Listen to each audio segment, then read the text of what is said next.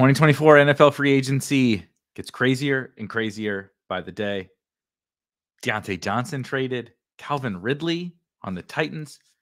All sorts of news is dropping, and it's a there's a lot of impacts to our fantasy football and best ball drafts. So today we're going to dive into some more of the fallout from the last couple of days of NFL free agency and put them to the test. Put those takes to the test in a fantasy football draft. Plus, we're going to give away a free ticket to Drafters Fantasy NFL Best Ball Championship upcoming this summer. Let's do it. Three,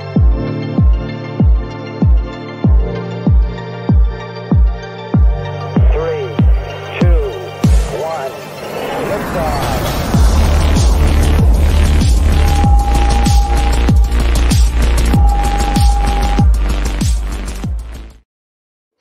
Hello, hello, welcome.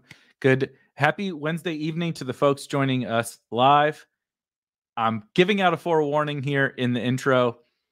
Storming here, or a gnarly storm is coming. So if you are watching and uh, the screen goes black, or chaos ensues, or my, I mean, it doesn't take much for my dogs to go absolutely crazy on one of these uh, shows, as you guys probably know very well by now. But if something chaotic happens, just know that uh, a storm is coming. The winter is coming. Uh, it's actually spring is coming. Midwest spring storms. But nonetheless, thank you for joining. We are still in the midst of NFL free agency and it is chaos. I did not see I did not see either of uh, the probably the most notable recent news the last couple of days. Uh Diontae Johnson traded from the Steelers to the Carolina Panthers. What a weird trade. We'll get into that. We will get into uh, the Calvin Ridley news and uh, trickle down effects. uh, we talked very briefly on the Monday show. If you did not get a chance to watch the Monday live show with myself and Rob Coakley, go check that out after this. If you hit the subscribe button, you can get notified when we have our shows. But uh, I'll talk a little smidge maybe about Austin Ekeler and just some of uh, some more thoughts that I've been uh, putting together over the course of the last couple of days because free agency is this is the craziest free agency period I can recall for fantasy football. Uh, and I think it's a bunch of different things all coming into one, but we'll get into that. Uh, as always, if you've joined us before, or if you have not joined us before, um, if you would like to get a question answered on one of these shows, what we will do typically is uh, on Mondays and Wednesdays, or Mondays, myself and Rob, and Wednesdays, myself. Come on here. We're going to draft a fantasy football team. But the first X amount of minutes, we'll answer your questions. Anything, you know, specific that you guys might have questions, you can hop into our Spike Week free Discord, 100% free. There's a link in the description. Hop in there. There's a live streams and media channel. You go to that channel and you can post a question whenever you want. A lot of people are typically posting it, uh, you know, the day of, but you can post it whenever. Post it Monday, Tuesday, Wednesday. I don't care. And uh, we will try to get to as many of those questions. We've typically been able to get to most of them on the show before we hop in the draft and even maybe during the draft. Today is a little bit of a special uh, edition of the show. Uh, the draft we are going to do uh, in just just just shortly. We're going to hop in just shortly. Is going to be on Drafters Fantasy, drafters.com. If you have not signed up and played on Drafters yet, quick shill. Uh, I I love the format. I, I really enjoyed it. I was a horrible Drafters player uh, honestly before last year. I think I got a lot better this past season, probably because we took it more serious here at, at Spike Week. The Spike Week fam wrecked, absolutely destroyed the Drafters Best Ball Championship in 2023. Uh, shout out to our good friends Updog and Dorito. Finished first and second for damn near half a million dollars between the two of them on drafters. We're going to try to see if we can just take the whole top 10 this coming year. But part of us getting into that top 10, shout out to our good friends at Drafters. Every single show on Wednesdays. In just a second, I will post the a link to just a Google sheet. In the very first row, enter your email. In that, you know, yeah, it, it, let's do this. Let's enter your name. You can put whatever username, actual name, and you and I can figure out um, if you win to get you your ticket. But Drafters is giving away a free ticket for every single one of our Wednesday shows to their 2024 NFL Best Ball Championship. So that will launch, you know, basically as soon as the NFL draft is over. I can't give away all the goods, but um, it's going to be sweet. If you've enjoyed drafters before, or if you have not played before, uh, it is a really fun format where it is cumulative scoring. So if you're not a big fan of the whole week 17 thing or the chaos of advancing throughout the fantasy playoffs, you don't have to worry about that on drafters. Draft your team, score the most points, win the tournament. It's that straightforward. And the 2024 tournament is going to be awesome and big and a lot of money, a lot of money to be won. So we're lucky enough to be giving away free tickets from now over the course of the summer. So we'll do, I'll post that link here in just a second.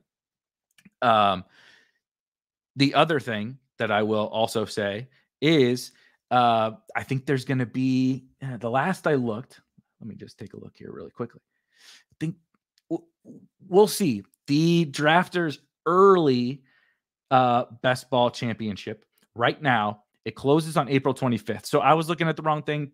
Please ignore me. But they also have a baseball MLB Best Ball Championship up on Drafters, which is not even half full and closes on March 28th. So that looks pretty good. And they just launched an NBA playoff best ball tournament on Drafters, $50,000 in prizes. Pretty fun. Anyway, let's get to the NFL free agency stuff. Enough of all this other chaos. Really quickly, we'll run, let's run through the chat mob.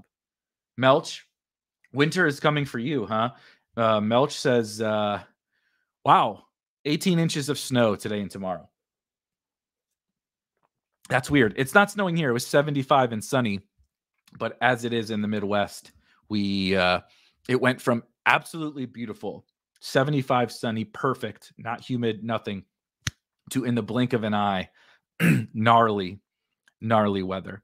Uh GM RGT RGT Al is excited. I am also excited. Agree with agree with Josh. Hit the thumbs up and subscribe. GM Shuby. Quasi drafters for life. I love it. Uh, Melch even says drafters has his favorite UI. I do enjoy the the drafters UI. Clancy, love drafters. Underdog isn't legal in my state, so this time of year, drafters is my only option. Yeah, we love our. We, I mean, we love it. We love underdog. I, I, know some people maybe don't love DraftKings. Whatever, everybody has their preferences. We love all of our provide, providers, but um, want to make sure we're giving the uh, good people uh, their drafters action because you know we're, there's we're getting our money in good over at drafters. All right, really quickly, uh, I guess I need to make sure that I make this uh, not restricted, huh? All right, in the YouTube chat, I just posted a link to a Google Sheet. If you are watching, go in there. It's completely blank. Go in the first column, enter your name, and uh, you will be entered to win at the end of the draft. So we'll talk for a couple of minutes of free agency. We're going to enter a draft. When we get to the end of the draft, I'll spin the wheel and we'll we'll see who wins the free ticket. Um, so go ahead whenever you get a chance, post that in there. I'll try to I'll try to periodically repost it within the chat over the course of the show. All right. Let's talk about some of these these the most recent NFL free agent uh, news. Calvin Ridley to the Titans. So this one, like I said, is the most recent, so it's a little fresh, and I haven't probably completely gone. Uh, of course, it says view only. I just changed it to uh, one second, one second, one second. Okay, try again. Yep. Uh, Okalani says you. T- uh, so in column A there, punch that name in, whatever whatever name you want to choose but it needs to be one that I can actually, you know, uh, contact you by. Punch your name in, and we'll get you your free ticket. Please let me know that it's working this time. I see some people in there clicking around. All right, cool. So, Calvin Ridley. Let's talk about Calvin Ridley for a second. Going for Calvin Ridley specifically, I actually think the Calvin Ridley news, most interestingly, has more impacts on other players than it does on Calvin Ridley and, and my like excitement levels for Calvin Ridley. So Calvin Ridley leaves the Jacksonville Jaguars and ends up in Tennessee. I think it's pretty fair to say just like offense and expectation levels for each of the, those two offenses that Calvin Ridley is certainly getting a downgrade in in situation. Um, we can split hairs probably on like specific target shares and things like that, but going from playing with Christian Kirk and Evan Engram and Zay Jones to DeAndre Hopkins and Chig, and then you know the running backs Tony Pollard and Tyjae Spears. It's like from a I haven't like run a projection or anything yet. it is a negligible upgrade from a volume perspective perspective at best, right? He, he was getting pretty strong volume on the Jaguars. Maybe it goes up a tick. It's not going to it's not going to go up to such an extent that I, I think it matters too much. But I, I think it's fair to say that the offense is unlikely to be better in Tennessee than it was in Jacksonville. Now, the Jacksonville offense was not was not amazing, quite frankly. They based on matchups, you know, there's a lot of talent there, a lot of talent that is kind of underwhelmed uh, for some time now, but it, it, it, has been a you know kind of a spiky offense honestly a little bit of a best ball uh, uh sicko offense where when they had big games they had big games and they really underperformed a lot of the time as well. And so i think moving to tennessee we should see something fairly similar for calvin ridley. I think being attached to will levis is probably going to provide a lot of variance for these these wide receivers deandre hopkins and calvin ridley I, I think I'm going to move Calvin Ridley a tick down in the rankings just based on eh, not even that much of him. Like I said, my expectations for uh, Calvin Ridley are largely unchanged, honestly. I think it would be fair to say that we saw what Calvin Ridley was with the Jaguars, and now we have this kind of mystery box, if you will, that there could be a little bit of juice uh, to squeeze, like maybe Will Levis takes a big step, and then we do get a little bit more of a target share. I think that uh, it's like I said, net neutral is what I'll call it for for Calvin Ridley. What I really wanted to get to is is some of the other pieces on Tennessee where Seth says, "How far does this move DeAndre Hopkins down?" So for me, what I will say is I think we should, if you were drafting or ranking DeAndre, here, here comes the storm. If you were drafting or ranking DeAndre Hopkins based upon, um, based upon like thinking he was going to be the only guy there and it was going to be like running back, uh, not a running back, but like running it back from the end of last year.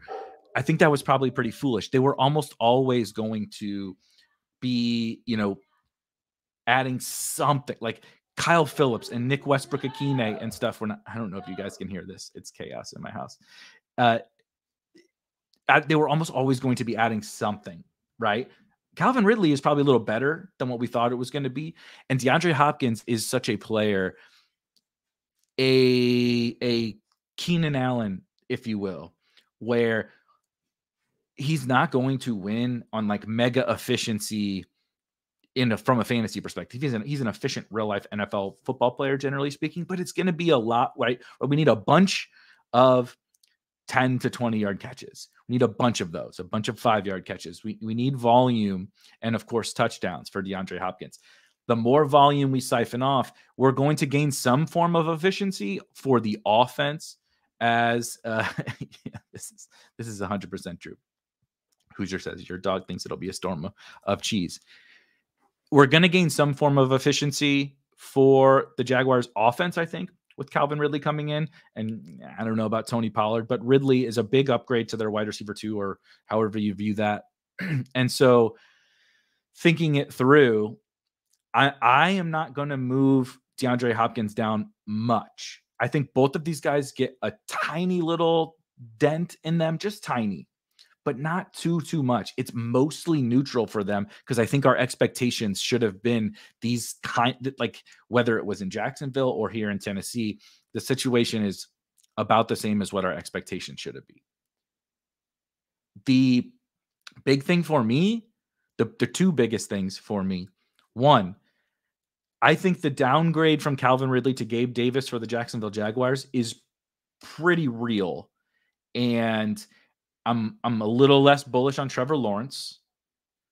Um that is I'm going to be picky with those kind of mid-tier mid-tier um quarterbacks, right? There's a lot of them to like and I don't want to just go crazy based on the name of Trevor Lawrence. So I'm going to ding Trevor Lawrence a little bit because of the downgrade to to to Gabe. Um I will be open to because of exactly this. Shuby says, you know, we don't know what's going on with Zay Jones. He could be cut if they, you know, we come back and they have uh, one of the, you know, uh, one of these awesome first round wide receivers. Be willing. I'm, I'm going to be willing to move back and forth, right? Move this opinion around based on new new information. I do think it very much solidifies Gabe. You know, as if we needed, you know, something to solidify Gabe with the money that they gave him. I think it solidifies uh, Gabe's um, you know, role for sure uh, as a downfield flyer. I think it's a small downgrade for Gabe Davis uh, going from Buffalo to Jacksonville, but the Calvin Ridley thing certainly helps. Um, Christian Kirk going to get a little minor boost from me. Again, same thing. We'll see what happens with the rook with the draft with rookie wide receivers. Uh, Evan Engram going to get a small little boost from me, and the big winner, the biggest winner to me of all Will Levis. Uh, if if I were drafting right now, a yeah, make sure you enter just quickly. Sorry, make sure as Quasi said, there's uh just if you have to scroll down, scroll down. It's totally fine. Just make sure you're in a clean cell in the spreadsheet. Will Levis, I think, now becomes the late round quarterback du jour of of this. I'm reposting the. Uh, go. I think Will Levis becomes like the go-to late round quarterback. Now, like this is a substantial upgrade for Levis, who is a gunslinger type. We don't know exactly how good he is as a real life football player. He might not be very good, but from a fantasy perspective, we don't care that much exactly how good he is in real life. We need him to hold the job. We need him to not totally stink. But what we really need is him to have some some players around him that can make some plays and him to do the things play have a play style right? This is the this is the the sam howell and such. We have the play style that allows us to accumulate fantasy points. Take use that freaking howitzer of an arm sling the ball down the field and run right get getting out from the the old old school Titans, Mike Vrabel led Titans into a new regime can be really good for him. I, am not saying Tony Pollard is is helpful, like from, going from Derrick Henry to Tony Pollard is whatever, but I do think it, it kind of having Pollard and Tyjae Spears as the two running backs with those two wide receivers on the outside kind of signals a little bit of a change in how the Titans are going to be playing this upcoming year. And so that was like the big, big, big thing that I am, I'm like excited about out of this trade. Like I said, kind of net net neutral, but I've also been looking like I kind of liked Will Levis before. Um, I didn't love DeAndre Hopkins. I didn't really like Chig that much. This does give you a nice other stacking piece to go with Will Levis, I think. All right, as we continue to talk here, I am going to hop into this drafters draft. So we're hopping into the drafters early NFL best ball championship. Looks like it is four out of 12. So we need eight. We need eight. I can share just to just to get that rolling. Um so that's pretty much the, the Calvin. That's the biggest new news that we've gotten over free agency. It was for sure uh, Calvin Ridley. Looks like we're filling pretty quick here about about four more. And then, like I said, we will hand out this ticket. Make sure you get your name in that spreadsheet if you want to be entered into the free ticket giveaway. And when we get to the end of the draft, we'll spin the wheel and give away that ticket. So we got Diontae Johnson also traded to the Carolina Panthers, which I thought was pretty interesting. And that one, not as not, I, I don't know that the Calvin Ridley one is fun, but that one is very much so not very fun. The the Diontae Johnson moving from the Arthur from the, the Steelers, which were gross anyway, and and going to the Bryce Young Carolina Panthers to put like Bryce Young, Diontae Johnson, Adam Thielen. That is just woof. Um, I I let's talk about Diontae first. It's realistically, it's kind of a neutral move when you th- like when when we really think about it and we get down to it. Uh, it's real, really kind of a a neutral move for Diontae Johnson. He went from a, a pretty heavy target share in Pittsburgh, but a mega low ceiling offense. It's a lot of short stuff, which is really what he does uh, and probably will still do. But the, the ceiling was just unfortunately capped with Kenny Pickett, Mason Rudolph, Mitch Trubisky, whoever. Even now with Russell Wilson, the ceiling was pretty darn capped. Even if Arthur Smith came in and really worked some magic, what were we really going to get out of uh, Diontae Johnson? Looks like we need just one more for the draft, so that's nice. Once we get through Diontae, I want to hit a couple questions that are in the dis, and we just filled. Goodness, I filled quickly. Um, I think the biggest change for me, similar to the Calvin Ridley thing with Diontae Johnson, is just the fact that we now, I think, say whatever we want about the Steelers, say whatever we want about um,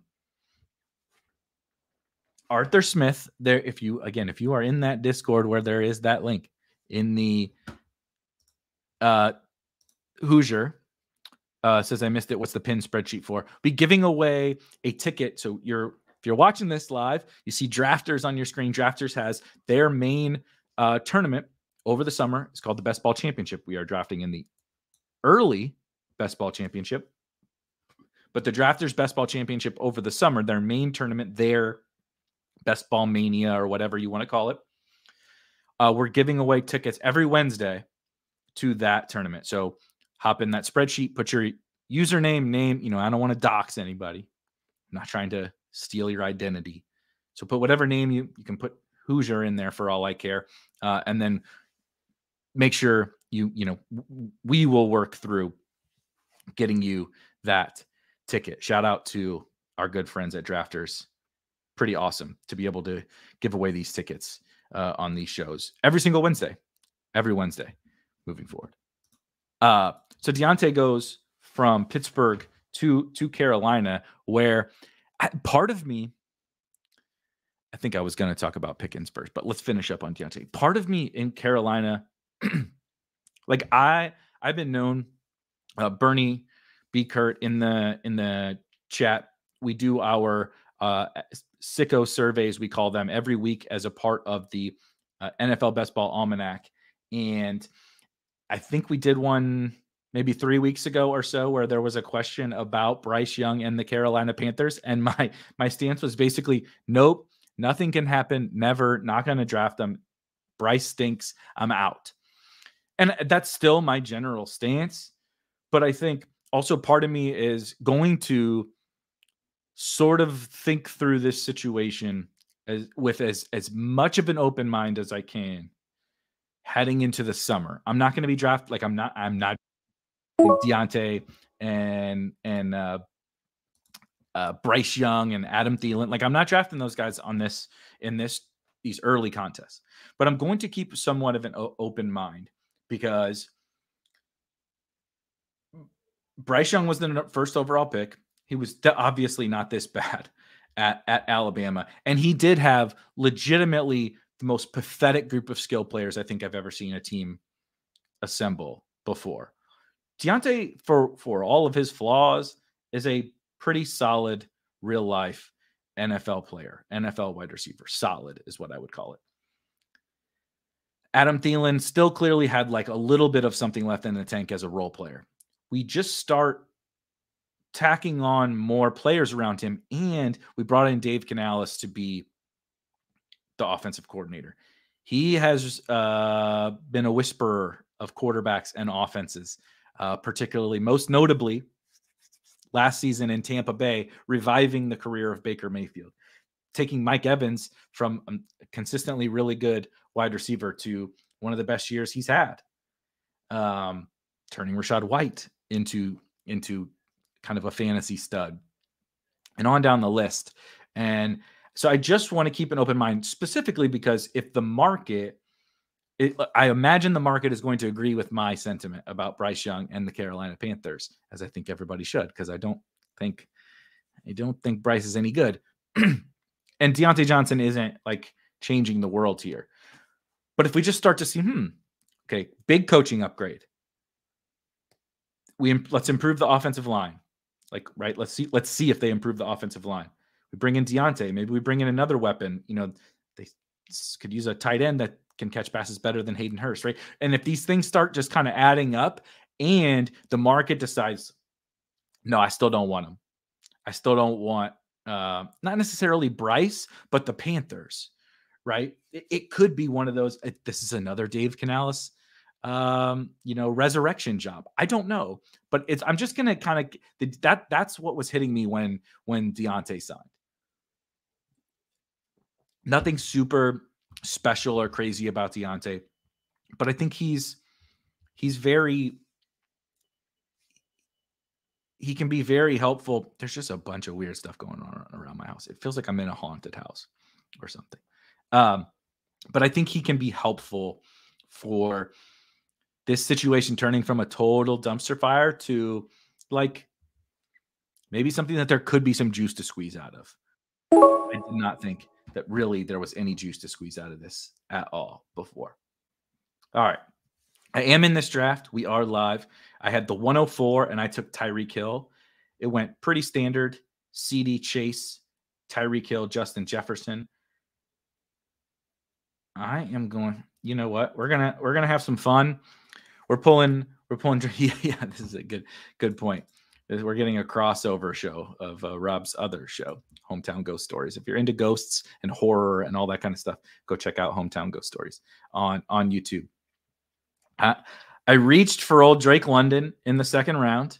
Uh, definitely a reach, but I am personally trying to up my Blake, Mike Blake, Drake London exposure. And the more, speaking of the free agency stuff, obviously, uh, unless you've been living under a rock, you notice that Kirk Cousins has signed with the Atlanta Falcons. And I just, I don't know, man. I just get more excited the more I think about the Atlanta Falcons with Kirk Cousins. Um, shout, shout out D Ross with a Falcons avatar says attaboy. And uh, Shuby says third round Pitts now get that stack. Not quite going to take old third round Kyle Pitts, but obviously you guys know me. And of course, if I took Drake London, I'll be interested in Kyle Pitts. But gosh, man, I this just feels like one of those situations where, you know, like where there's smoke, there's fire. Like I believe in like the kind of common sense types of things. And it's like we've been telling ourselves um, we're back on the clock. Saquon available is interesting. You know, that's not my kind of a thing. Saquon, Mike Evans, Deebo Samuel, Michael Pittman. I'm actually going to take me a little Michael Pittman here. Um, we'll talk about that one in a second. Uh, the Falcon with Kirk Cousins going to Atlanta, it just feels like we've been ranting and we've been raving and we've been talking about Arthur Smith and we've been talking about Marcus Mariota and we've been talking about Desmond Ridder. And you know just trust me Drake London is good. Just trust me Kyle Pitts is good. And they've earned like volume as if they are good. It's a fact. And I think most people would agree that you know, most people they're being honest would agree that they're pretty sure that Drake London and Kyle Pitts and certainly Bijan Robinson are good at football. All uh, our our two we had two complaints, and even with these two complaints, we were drafting Drake London in like the fourth round last year. We are drafting Kyle Pitts in like the whatever sixth round last year. Before we were drafting Kyle Pitts at the two three turn. Two years ago, we were drafting Kyle Pitts at the two three turn, and Drake London in like the fifth round. with these complaints that this fucking Arthur Smith, this goddamn Arthur Smith, he doesn't get the ball. He runs the ball too much and he doesn't get the ball to his best players. But I'm just going to bet on the talent. I'm just going to bet on it. Desmond Ridder, awful. Marcus Mariota, awful. Terrible quarterbacks, but I'm still, I, I believe. I believe in the talent. Just bet on the talent of Drake London and Kyle Pitts. And it didn't really come through, of course. It didn't really come through. Yeah. It, the uh, Michael Pittman thing, I just got the notification. We'll get to in a second, Hoosier. Uh, because I think it's it's funny. We've been just preaching about this Kirk cut like this, not this Kirk Cousins, about this quarterback and this coach situation for these guys. That they're superstars. They're superstars. We just need to get these roadblocks out of the way. And then not only does Arthur Smith get fired, not only do they bring in uh, someone from uh, the Rams tree, the McVay tree, that is exactly what we want. Right, that's the tree. Like that's that's what the, the Shanahan and McVay trees is like. If we can pluck somebody in from there, that's what we want with our coaches. Then we get maybe the single best case scenario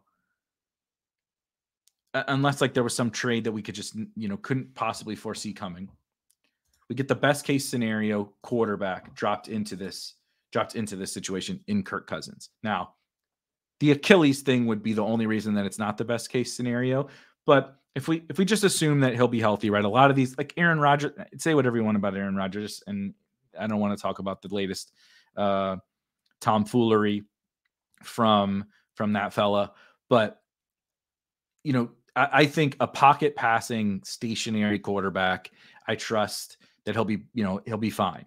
It, I could end up being totally wrong about that, and I'm willing to admit that. But as of right now, my assumption is just that he'll be okay. Uh, we'll be fine with Kirk Cousins this com- this coming season for the Falcons. And so, like that guy has made fantasy stars out of a lot of dudes. Like if you are one of the top targets on his team, and sometimes not even one of the top, right? Remember a couple was it two years ago? KJ Osborn like broke the best ball playoffs. KJ Osborn broke the best ball playoffs playing with Kirk Cousins. Everybody who has caught now, granted, he's had some good receivers, Justin Jefferson, Adam Thielen, Steph Diggs, and such. But like if you catch passes from him, you you crush for fantasy. You crush. And now we dropped that dude in there into this situation that we've been dreaming about with the new head coach. And I'm just like, I can't help myself. I can't. I can't help myself. Um, all right, back on the clock. Amari Cooper, Lamar Jackson, Zay Flowers. Oh, I got to get my, I got to get my Terry McLaurin up here. Another guy. Uh, yes, as Beaker says, two years ago, Minnesota in Week 15. Yeah, the big big comeback. KJ Osborn scored like almost 40 fantasy points, half PPR fantasy points. He's just, he's just uh, Kirk Cousins is the exact kind of. He's Jason Kidd, dude. He's not the perfect player, he's not the perfect quarterback, but he is a point guard that is going to do the things to get his other fantasy assets there. They're going to eat. The players around him are going to eat. And like I just can't think of a better situation, right? Other than Mahomes and and that kind of stuff, Burrow, whatever. But like outside of that, those actually the truly unrealistic options, like I, I, I'm gonna load up on the Falcons. I am. Um, other news that just happened we're on a free agency show. Uh, quickly, I am back on the clock. Started Tyreek Hill, Drake London, Michael Pittman, Terry McLaurin. Let's do. I haven't really been taking George Pickens, and we'll uh, the chat is having some fun with Anthony Richardson, but I drafted Michael Pittman in the third round, and uh, it's nice to be on the clock. Usually people do this for slow dress, but it's nice to be on the clock and get the news that Joe Flacco signs with the Indianapolis Colts. Joe Flacco has uh, officially signed with the Indianapolis Colts. Anthony Richardson is the starting quarterback there. There's no concerns about that. I, have seen some concern about uh, Richardson at quarterback for Michael Pittman. I would um, request that you go look at weeks one and week than week two for Michael Pittman with Anthony Richardson to see, like, dude, Anthony Richardson is not Tim Tebow. Like I think sometimes we like treat guys who are not the world's best passers and are good runners like they can't complete a forward pass. And like he's not an awesome passer, but like Michael Pittman was awesome with Anthony Richardson in weeks 1 and weeks 2 and got weeks 1 and 2 and got absurd volume. like mega volume. So like I think we we get very overconfident in those kinds of things and it always happens with rushing quarterbacks. If you recall last year we were not allowed to draft DJ Moore because Justin Fields, you know, is not a good enough passer, he scrambles too much and the Bears are going to run too much. So this this uh, and that was wrong. Now look, DJ Moore is a second round pick and was an elite elite fantasy wide receiver last year. Michael Pittman is a stud. I understand he needs to get there by volume. He's good at the game. I just am going to draft dudes who are good at the game, especially full point PPR. And what if Richardson gets better? Like, have we ever considered that he was really just in like his second year, full year starting, and he obviously didn't get a full year in last year? Like, what if Richardson just becomes a good passer? Lamar was not a good passer when he first started in the NFL. Now he's a two time MVP and a very good passer right? Josh Allen was not a good passer when he got to the NFL. Sometimes these guys get better. Typically, you do. When you're 22 years old, you're probably going to be better when you're 24 than when you're 22. And so, um, I'm not worried about Michael Pittman. Like I said, good at the game. But the we get, I get, I'm on the clock on the show, and you get the Joe Flacco signs with the Colts thing. And it's also going to lead me into uh, some Raiders free agency takes because I want to talk about that from a free agency perspective as well. When we, there's something to be said for a floor at quarterback. And Joe Flacco signing with the Colts, like, I was like, I don't have a lot of Pittman. I get the news of Joe Flacco to the Colts. I'm like, I'm thinking about like this this conversation that we'll get to with Gardner Minshew, who also ironically was on the Colts last year, where having a quality, proven commodity backup for your fantasy wide receivers is like kind of an underrated thing now. I think. Um, ooh, ooh, Aaron Jones. No, no, no, no. Pitts is gone, of course. So we'll take Bowers since Pitts is gone. Uh, having having a floor at quarterback that like okay, Anthony Richardson is worst case scenario because it can always get like you you want to say like oh you know it's a bad situation. It can always get worse. Burrow goes down. Look at the Jets last year. Jets had Aaron Rodgers. We were all excited for the Jets. Garrett Wilson going at the one-two turn ish or whatever. All excited. Going back there again, Breece Hall's first round. The two Jets are first round picks, and I agree with it. But when there's no float, right? One in all it takes is one injury, and your whole it's over. Your whole season is over.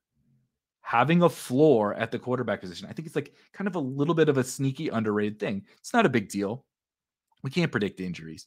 I'm not worried about it. But I think like little tiebreakers and different things like that. Like I would also like for Pittman, I'm not like mega jazzed for Pittman. I think he's fine. I don't, but I like I I could have I could have sold myself on like a full Pittman fade probably. But once you bring in that, once you once you bring in that stabilizer of Joe Flacco behind him, it's behind Anthony Richardson. It's like there's basically no way that this ever goes completely terribly. You know what I mean? It's not possible for this to go truly horrendously bad. I'm gonna take David Njoku here actually one of my one of my favorite strats.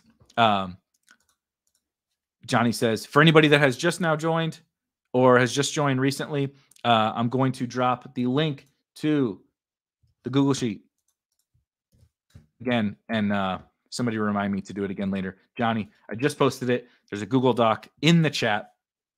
Pop your name in that. You'll see the other folks that put their names in there. Uh, username, name, Johnny Burnett, whatever you want to put it on there. Uh, and then you will be entered, and I'll spin the wheel at the end.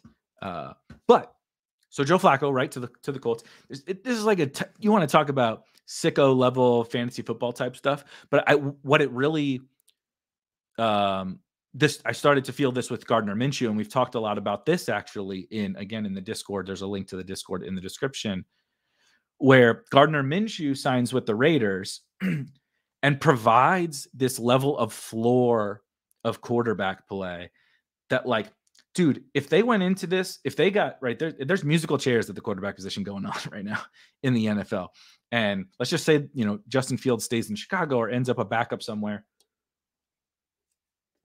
If the Raiders got locked out of all the free agent quarterbacks you know Jacoby even Jacoby Brissett's gone. And they got locked out of the rookies you could be heading in with a floor of Aidan O'Connell and like somebody worse than Aidan O'Connell, the floor for Davante Adams, Jakobi Meyers, Michael Mayer, all of those guys, the floor is like, wow, like really bad. And the the ceiling may not be that good either because Aidan O'Connell isn't very good. You you add in Gardner Minshew to this situation, and it provides a level of floor. It's like, all right, we saw Aidan O'Connell last year. It wasn't very good, but that's worst case scenario. It, it, Gardner Minshew provides this much higher floor now. Now, and still, it's not impossible that they acquire, say, a Justin Fields. Then it would be like, all right, this is either Fields or Minshew. It's all good. That was the Colts last year. Now it is the Colts again this year, where Anthony Richardson and worst case scenario, it's Joe Flacco. Those are like tiny little micro edges, you know, micro things that we should worry about. But I just happen to be thinking about it a lot because I'm very high on the Raiders.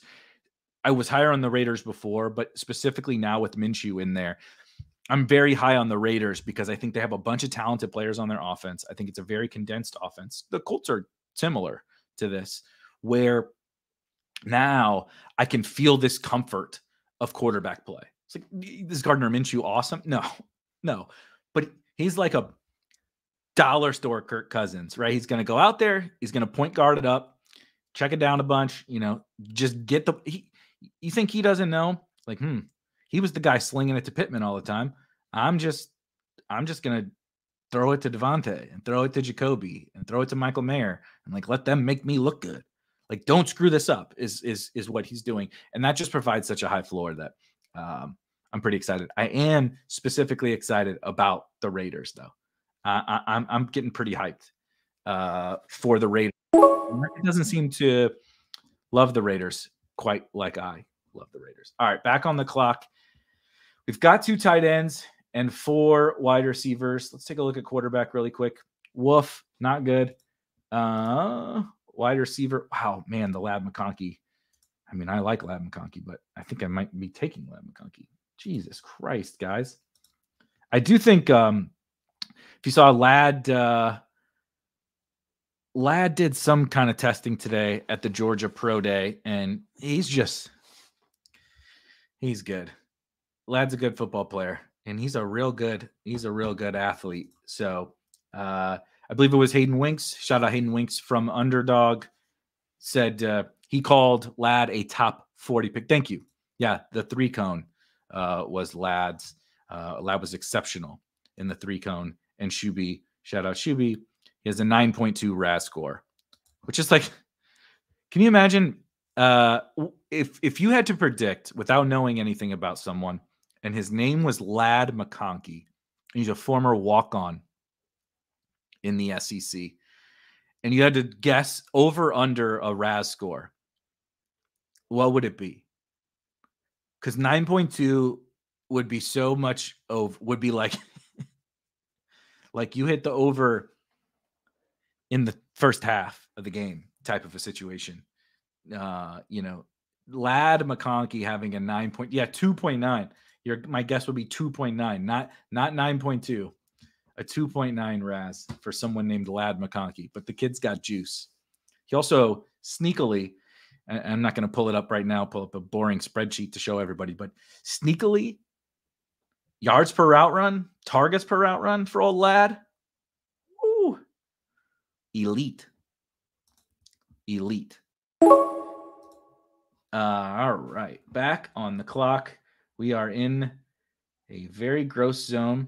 You know, so I've been taking a, a good clip of Brian Robinson here. I do, I do still really like Brian Robinson, even though they signed Austin Ekeler. We could talk a little bit about that in a second. But I, I want to get. Uh, tr- I'm going to take Trey Benson for a first running back here. I'm I'm very triggered. Shuby does this to me all the time. Shuby drafting out of the the third spot here takes Zamir White. That's who I really wanted, so I could wax poetic some more about the Las Vegas uh, Raiders. Yeah, Paulino says some people were comparing him to Hunter Renfrow. That's because some people can't can't compare a white wide receiver to someone that's not a white slot wide receiver. If you're a white wide receiver coming out of college, you are Julian Edelman, Wes Welker, or Hunter Renfrow. God forbid we are able to compare players to other races or you know whatever. Like it's it's truly absurd. He's he could not possibly be any different than Hunter Renfrow. Hunter Renfrow is slow.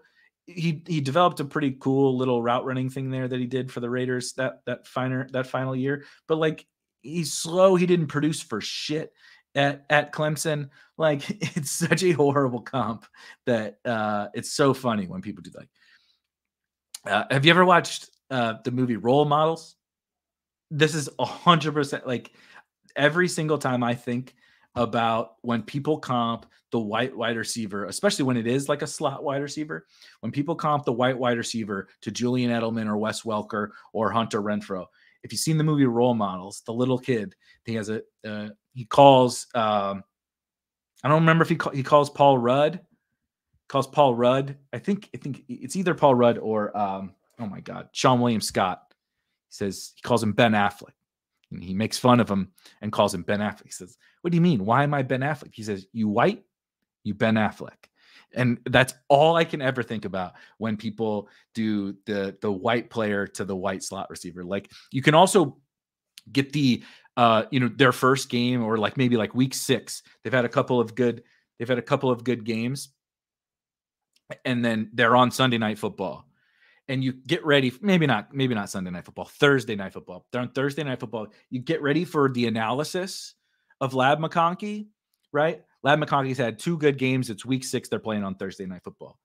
You're going to get the shows up early, leaves late, brings his lunch pail, hard worker, right? Never gym rat, you know, always in the always uh, nose in the playbook. Like you're gonna get all that bullshit, and it's like, like guys, like come on, like come on, yeah, cra- he's crafty.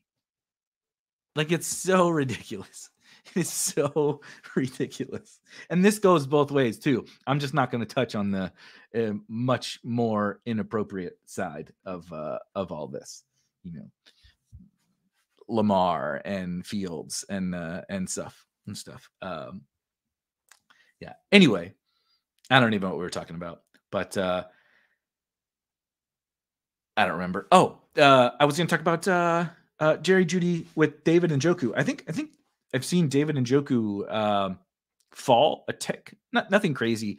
We do get like random risers and fallers during during free agency with Jerry Jeudy going to to Cleveland. If it's going to force David Njoku to fall at all, yeah, you can sign me up for that. I I, I am all good uh, with Jerry Jeudy. I'm not worried about what he does to David Njoku personally.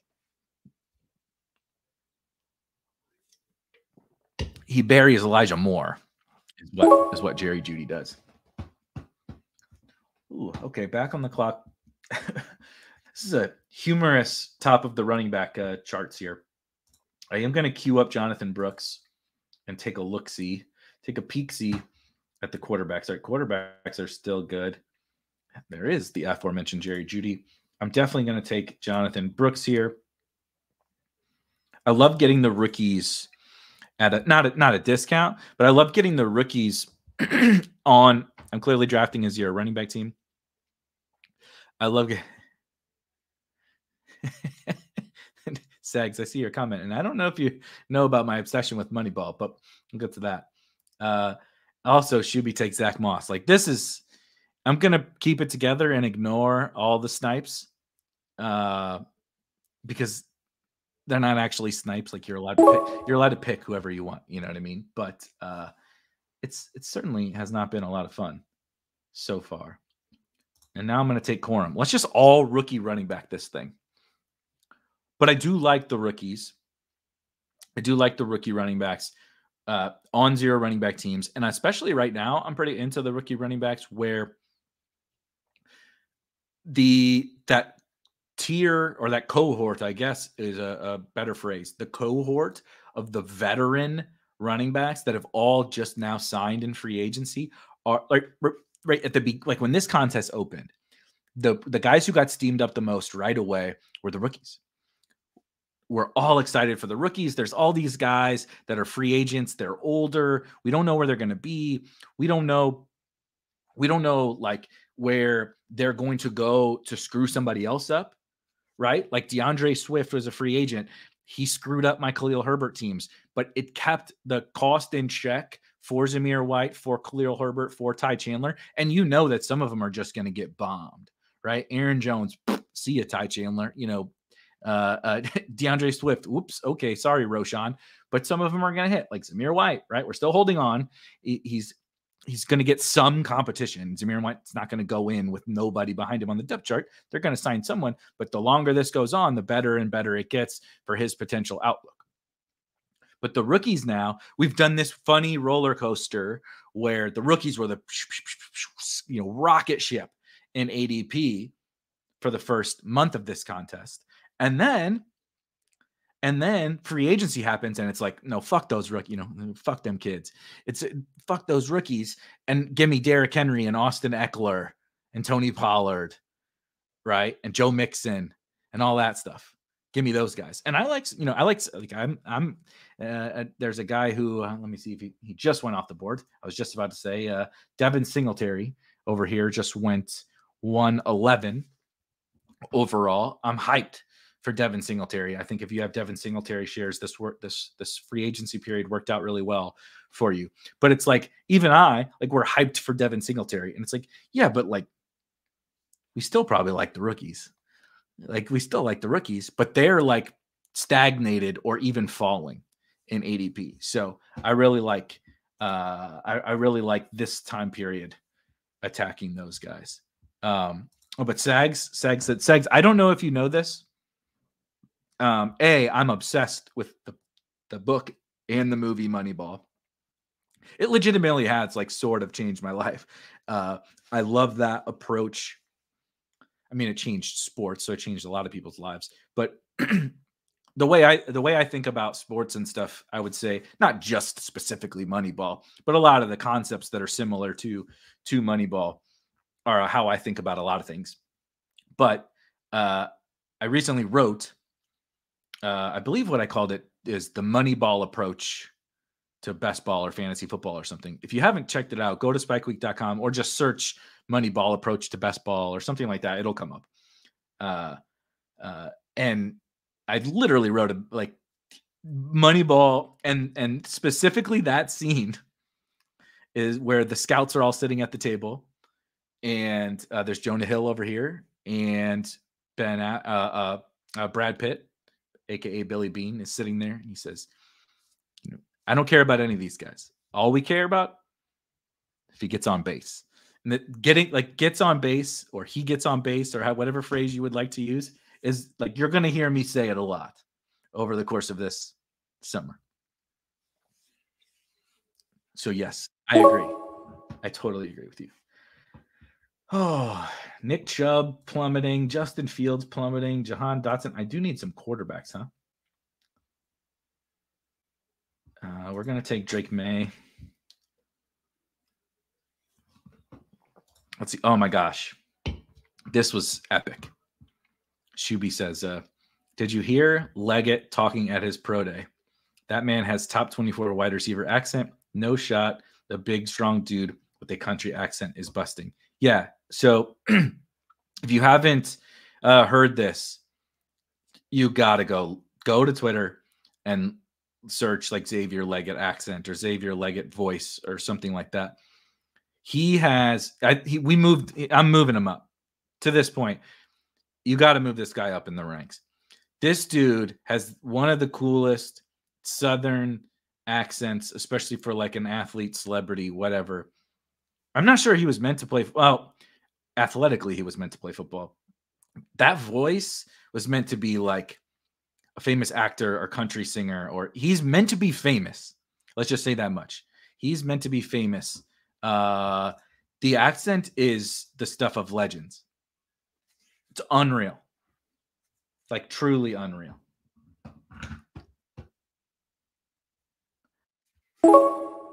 Oof. This draft is this is not my favorite draft, you guys. I'm, I'm just I'm just gonna be straight up honest with you. I have had more fun in other drafts than this one. Let's see. We got I'm gonna take me a little Wan'Dale here. Gonna take a little Wan'Dale. This is great. Al says, I took my first share of Legette today after seeing that on the Swolecast. Yeah, I'm I mean, how can you not how can you not be excited for that? Legitimately amazing. One of the coolest things I've heard in some time. Um, let's take a look see here.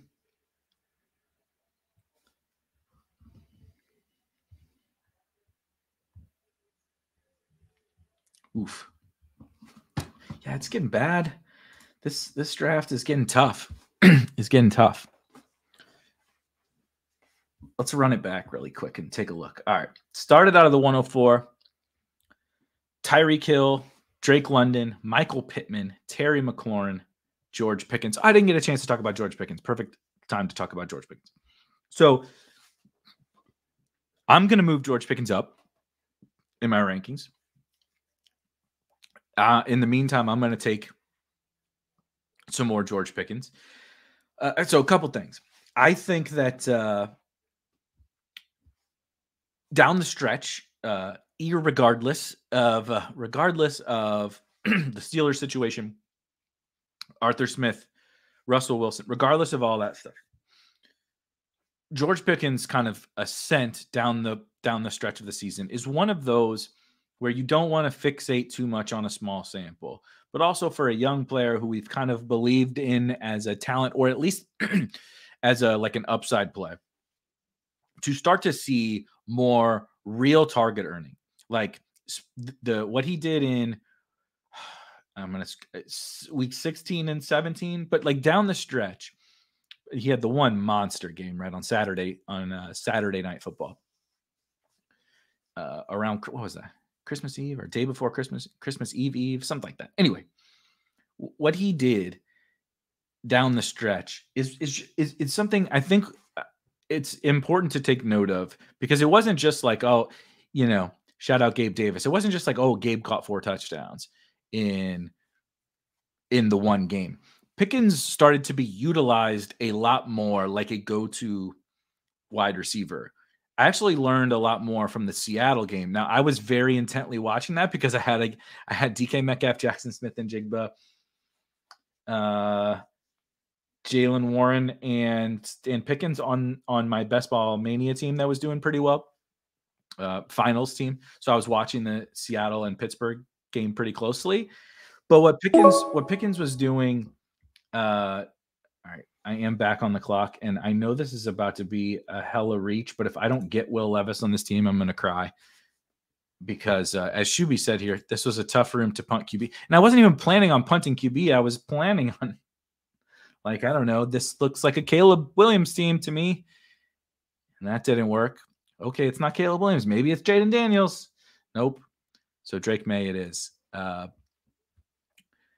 but what what I really when when go back and watch when if you ever get a chance or you just like to nerd out on uh, some football games like I do, go back and watch what uh, Pickens did and specifically how the Steelers used him. And now I know it's Arthur Smith now, right? So we'll get to that. How they used him in that game as like I'll never forget the final play where it's third down. They need it might not have even been third down but if they get a first down, the game's over. And the uh, Steelers, 99 times out of 100, you would guess that they would run it, right? Run it, run the clock out. Let's move on, type of a thing. God damn it. this draft room is absolutely painful, guys. Like truly, truly painful. All right. Well, if we're gonna, uh, no, no, no, no, no, no. I don't like Bucky. I don't really like Estime. I'll take a Gibson share, I guess. We'll talk about him in a second too. You know, second and 10, Steelers would just run the ball, run the clock out, let the Seahawks use their timeouts. They throw it and they throw a slant in one on one coverage to Pickens. He catches it, picks up the first down. Uh, should have scored actually. The fucker. I wished he would have. Wish he would have scored. That would have won me about 250k. But the little things about like when we need something, we go to this guy, type of a thing. That's really little, and I'm not trying to draw too too much from it, but we saw like kind of a shift to that down the stretch where he really did become a little bit more of the focal point of the offense. And then, and then, you know, of course they they change offensive coordinators, but then they uh, say whatever we want about Russell Wilson, he's an upgrade over Kenny Pickett and Mason Rudolph. And then they trade Diontae Johnson, which like just sort of signals to me that they're like Pickens is the dude. Pickens is the dude. And we know he has the single week upside, right? That has ne- really never been in question. But I think he might have some of that volume upside that we were hoping for. Now, you're concerned about Arthur Smith. You're probably concerned about Russell Wilson. Aren't we all? I just took Michael Pittman in the third round. right? Not every situation is going to be perfect. But I think Arthur Smith has like we do this. We do this every year. I just talked about this with the Justin Fields and DJ Moore situation last year. We latch so hard onto the most recent results. Like I'm very concerned about Arthur Smith, but we have 4 years of him calling plays. Two of them, he turned Ryan Tannehill and a Titans offense into a juggernaut. He turned, remember this, he turned the Tennessee Titans into an elite.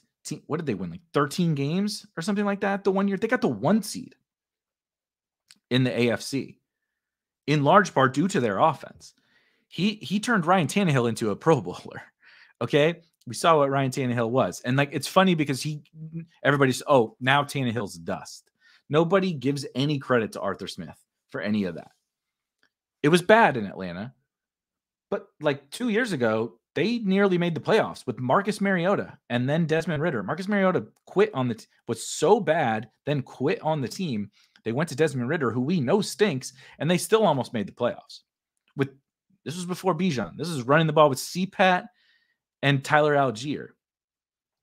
This past year it was bad, and I think he's a donkey and an asshole.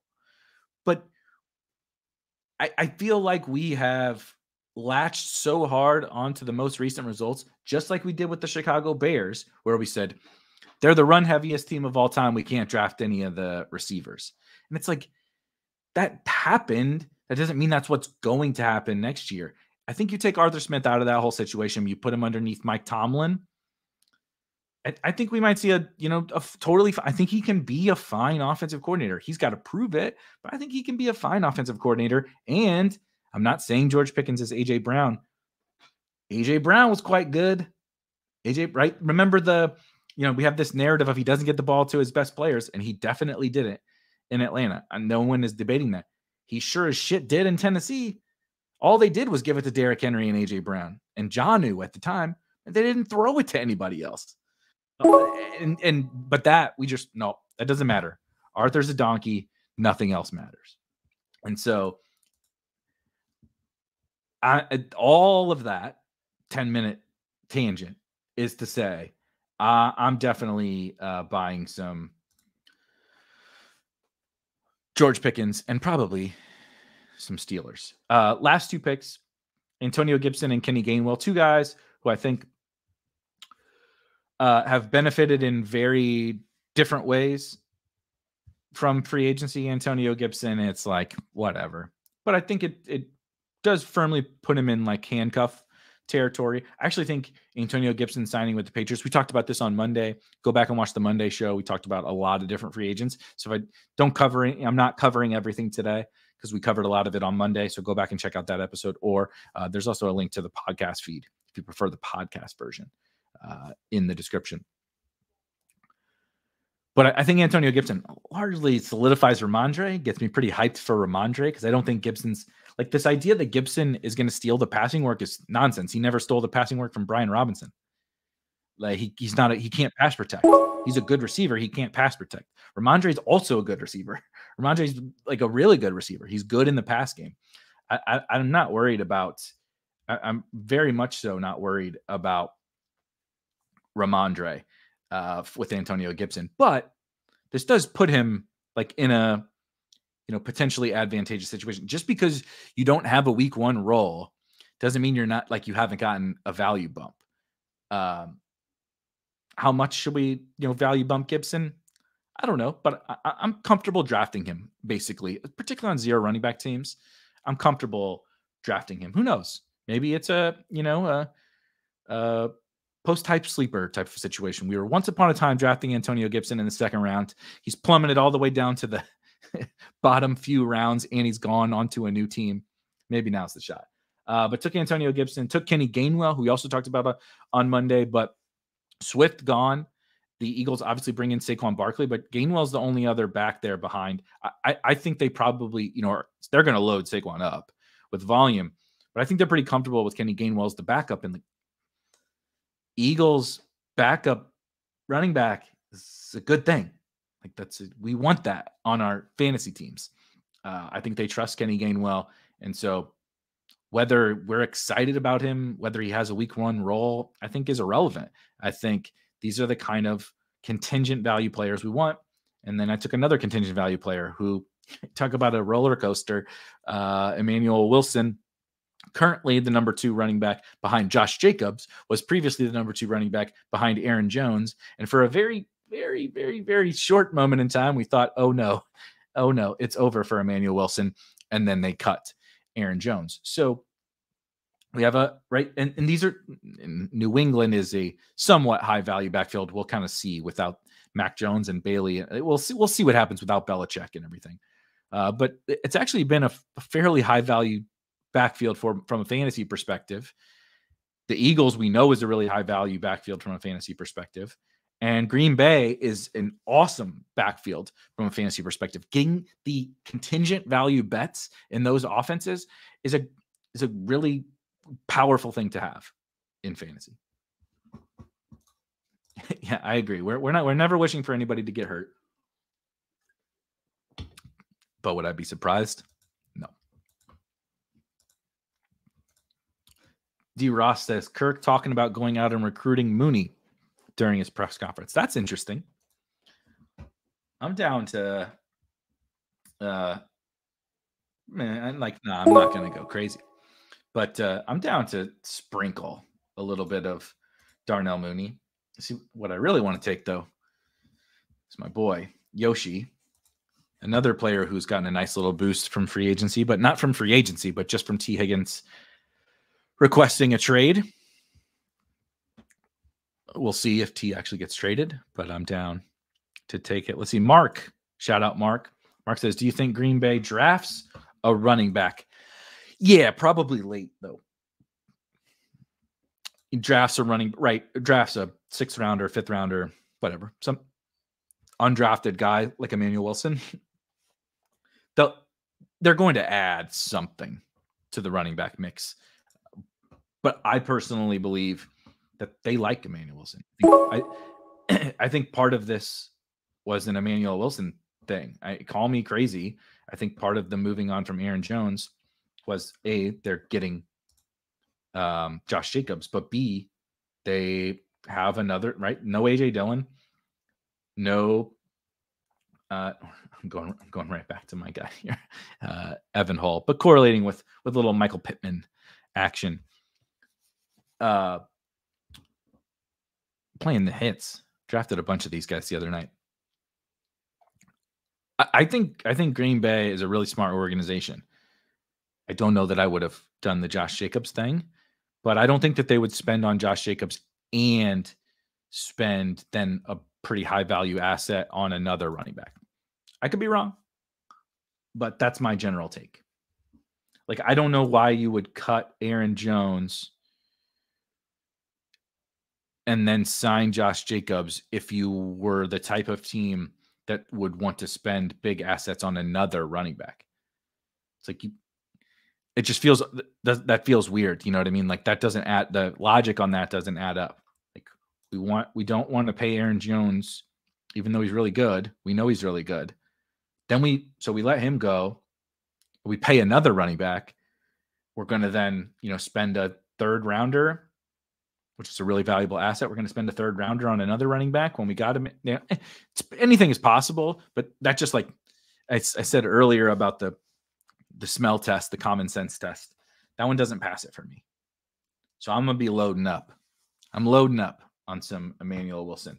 Uh, as the draft is winding down, one final shot. I just posted the Google Sheet to the YouTube chat one final time. So if you've just recently joined us, there's a link to a Google Doc now in the YouTube chat.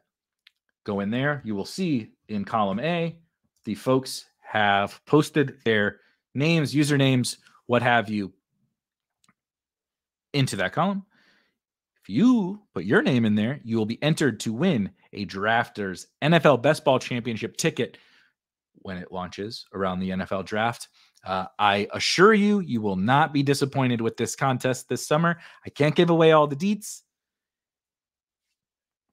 but I've spoken with the good folks at Drafters, and I assure you, you're gonna love it. So, uh, final final call to put your name in there. We will spin the wheel the moment the clock hits zero on the final pick of this draft. But um, some folks might say, I just just really wanted to quickly touch on I took two elite tight ends. That's one of my fave strategies.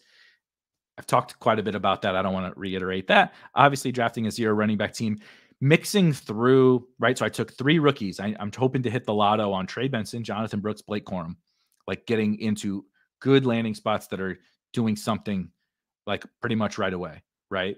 Then I took these contingent value bets Antonio Gibson, Kenny Gainwell, Emmanuel Wilson, Evan Hull. Probably going to take another one here. I'm going to turn this into a 2 8 8 2 team eight wide receivers. My wide receivers are quite strong, in my opinion. Tyreek Hill, Drake London, Michael Pittman, Terry McLaurin, George Pickens, Ladd McConkey, Wan'Dale Robinson, and Andrei Iosivas with Brock Bowers and David Njoku. The weak part of this team, naturally, Drake Maye and Will Levis, the only two quarterbacks. That's something we've discussed a lot about as well. I understand that a lot of people may take this and turn it into a uh, like I like Gardner Minshew on this team. I want to I want to put that out there. But for me, I am personally trying to invest more assets into the running back and wide receiver positions to uh, win the flex, if you will. And I'm going to take my guy, one of my flavors that I take all the time, too much, Ronnie Rivers, another contingent value bet in a high value touch offense. Is it possible that Ronnie Rivers gets replaced? Of course, it's possible that any of these guys get replaced. The Rams don't have a ton of assets. The Rams don't have a ton of assets. They don't generally, you know, I know they did the Cam Akers thing, but they don't generally like spend a ton on the running back position. Kyren is the man. They got holes to fill. They just beefed up the offensive line. And last year, Ronnie Rivers was the handcuff to Kyren Williams. He got hurt himself. Unfortunately, when Kyren missed time, Ronnie Rivers was also hurt. But as soon as Ronnie Rivers came back, he took over the handcuff job. He is an exclusive rights free agent. He's going to be back with the Rams because exclusive rights free agents, if you're worth anything uh, on the field, you're so free to you're so cheap to bring back. That's what teams do. And so this is you'll see a trend on a lot of my teams. If you if you're with us for the first time or if you've been with been with me for a long time, you will see a trend of these are the types of backs that I really like to take. I love the rookies, of course, but contingent value bets particularly contingent value bets like right now that other people don't like feel comfortable clicking because they're like he could get replaced. It's like i agree he could get replaced he's the last round pick and people are expecting him to get replaced. But what if he doesn't get replaced? You get jerome ford of last year. Like jerome ford was a big hit in this early tournament right? Kyren Williams, if you were uh, to have the foresight to realize, which I was not smart enough to realize Kyren Williams was Cam Akers' backup. He actually ended up not being his backup, right? But people were worried about, I don't know who it is. Who's it going to be in the backfield there? And if you take your shot and you hit, that's how you can absolutely hit big here. So you see closing it out with Antonio Gibson, Kenny Gainwell, Emmanuel Wilson, Evan Hull, and Ronnie Rivers. And you have to sacrifice somewhere to to juice up your teams uh, and to get as many shots on goal at running back and wide receiver. I took two elite tight ends so that I only had to take two. Plus, I really like that strategy and I like the early tight ends. I took a bunch of stud wide receivers. That's me. That's what I do, as you guys probably know by now. So something's got to give. Do I really want to go in with only seven running backs? My first running back is drafted at pick 100. Not personally. No, not, not, not personally. I want to use those bullets at running back. And so this bet, right? This team needs Drake Maye and or Will Levis to be very good. I that's a is that a thin bet? Yeah, probably. Guess what? It's you're going to take you're going to need thin bets to hit to win this tournament. And I'm most comfortable making them at positions like quarterback given the current uh it, positions at quarterback in terms of only taking two of them. Like because everyone else that I'm, we're drafting against is going to take three quarterbacks on this team. And so if I hit Drake Maye and Will Levis, I don't give a shit about that third quarterback. Am I likely to hit them? I don't know. Probably not. But when I do, this team is has that extra bullet to crush to find the slam dunk home run hit at running back or wide receiver. So, really quickly run this down then we're going to spin that wheel and give away that free ticket. Drake Maye and Will Levis at quarterback, Trey Benson, Jonathan Brooks, Blake Corum, Antonio Gibson, Kenny Gainwell, Emmanuel Wilson, Evan Hull, and Ronnie Rivers at running back. I do like just really quickly before I go to that. I like this logic from Hoosier. He says, if you're doubting a pick or a structure or whatever, just remember to tell yourself this team's probably going to lose anyway. It is. So if you just accept that this $10 or $11 or $20 is gone, the moment you clicked enter, you'll you'll play for keeps a little bit better. Wide receiver, Tyreek Hill, Drake London, Michael Pittman, Terry McLaurin, George Pickens, Ladd McConkey, Wan'Dale Robinson, and Andrei Iosivas. That's a that is a pretty fun wide receiver room. And then rookie Brock Bowers and David Njoku paired at tight end. All right. That was a legitimately very fun draft. Uh, I appreciate you guys for hanging with me. Let me get the names loaded into the wheel. Into the wheel. And then we will spin this baby. We will give away the very very this is great. Uh the very first free ticket on our Wednesday night show here on Spike Week. Let's spin this wheel, huh? Who wins it?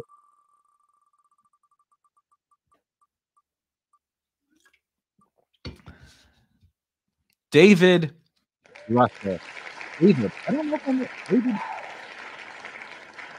Where's David? David, are you in the chat? Show yourself. If you're still, if you are not still in the chat, David, please contact me. Discord, Twitter, um, yeah, Discord or Twitter. Really, uh, no, the wheel. Just it's uh, just, just Google it. Wheel of names. Uh, David Russell shouts to you. You have won the very first free ticket giveaway. Uh, next week, Jack. Jack says for forgot to uh, enter next week and every Wednesday thereafter. We got lots of free tickets to give away. This is not going to be the only one, but David Russell and everyone else, of course.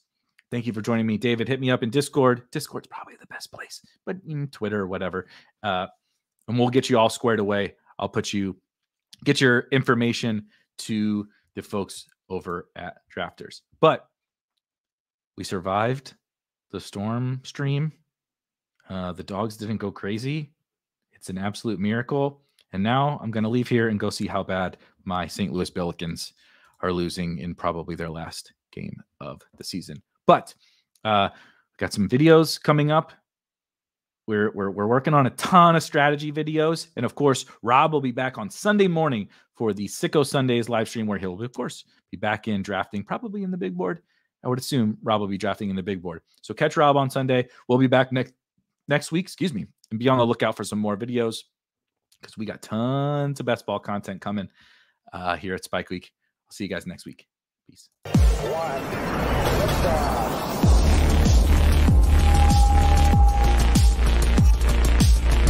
Woo! The those were some spicy takes. Want to stay up to date with all of the other spicy takes we're going to have over here at Spike Week?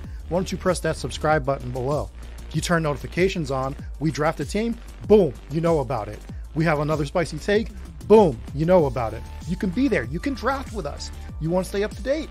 That's how you do it. All right, we'll catch you later next time here at Spike Week.